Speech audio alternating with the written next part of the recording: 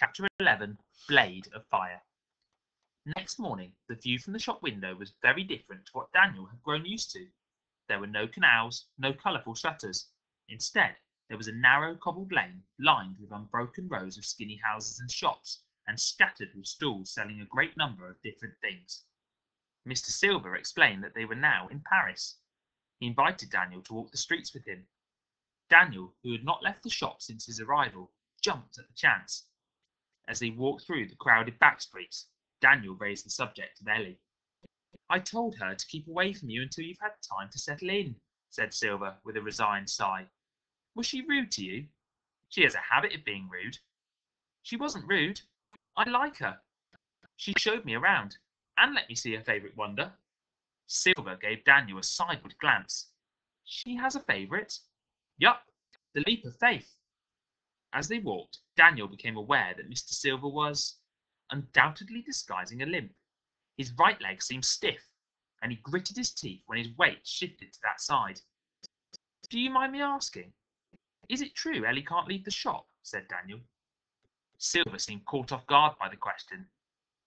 She has a condition that prevents her from going outside, he said. He did not elaborate. What sort of condition? asked Daniel. A disease? What will happen if she does go out? Silver grimaced. He rubbed his leg. Look, Ellie is safe in the Emporium. That is all you need to know. And is it true that customers can't see her? Silver gave him an irritated look. Yes. And that's part of this condition as well? Silver nodded and grimaced again. No more of this, he said. We are not here to discuss Ellie. Of course not, said Daniel, and he knew not to push too far. Why are we here? Looking for something, said Silver. I'll know it when I see it. Is your leg all right? Fine. On they walked. Daniel soon realised that they were not out for a leisurely stroll around the sightseeing spots of Paris. They stuck to the back streets and alleys, visiting several shops and stalls in the darkest corners of the city, each connected to the elusive and shadowy world of magic. There was a shop whose owner claimed to be in possession of a magic carpet, a stall selling the blood of many different animals, and an old woman who sold potions and powders from a flat overflowing with rats. None of these places, though, seemed to sell what Mr. Silver wanted, and each failure only darkened his mood. These are the places you were talking about, aren't they? said Daniel, breaking silence as they approached another winding lane. The magic places normal people can't see, or choose not to. Silver gave a nod. His limp had subsided a little, but Daniel could tell that he was still in pain. What exactly are we looking for? Treasure. It occurred to Daniel that Silver must be ill. Was he looking for some sort of medicine? An apothecary sat at the end of the lane, leaning at a strange angle, as if it had been propped up by something that had suddenly disappeared. In the window, Daniel saw many dust smothered bottles and jars arranged around a human skeleton. He hoped it wasn't real. The interior of the apothecary was filled with a silvery fog that stuck in Daniel's throat. A sharp metallic smell hung all around. Mr. Silver purchased several items, among them a glass jar of black powder and a strangely shaped bottle filled with red liquid.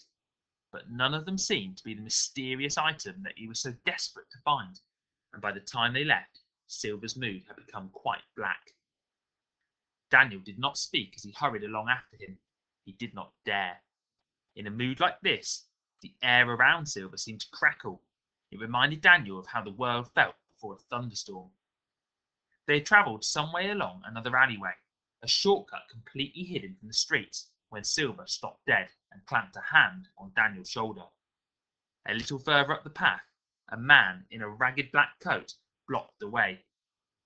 In his hand, he clutched a dagger with a long curved blade that looked as though it had drawn blood many times. Give me your money and valuables, he said. We don't have any money.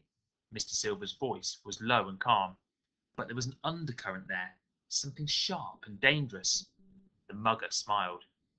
You wear a fine suit such as that and expect me to believe you've got no cash? I may be a mugger, but I'm not a mug.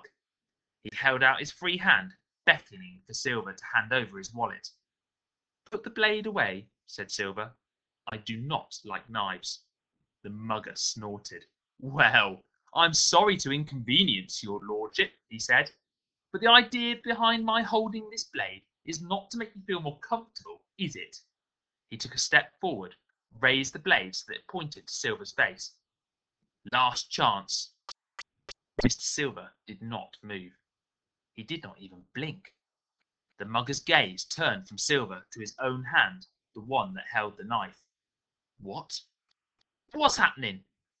Beads of sweat were forming on his forehead, dripping from the end of his nose. He began to shake, to gasp and squirm. What are you doing? He said through clenched teeth. It was then that Daniel noticed the knife trembling in the mugger's hand, glowing red hot like embers of coal in the Emporium's fire. I can't let go! screamed the mugger. He dropped to his knees. Help me, please! He crumbled on the ground in agony. Mr. Silver watched for a while, his face impassive.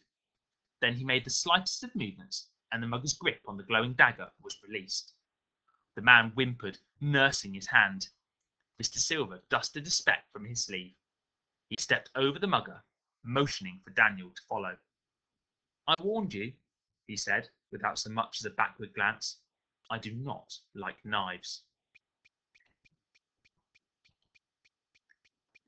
And that brings us to the end of chapter 11. Make sure you come back and listen to what happens in chapter 12 tomorrow. Bye for now, year 5 and 6.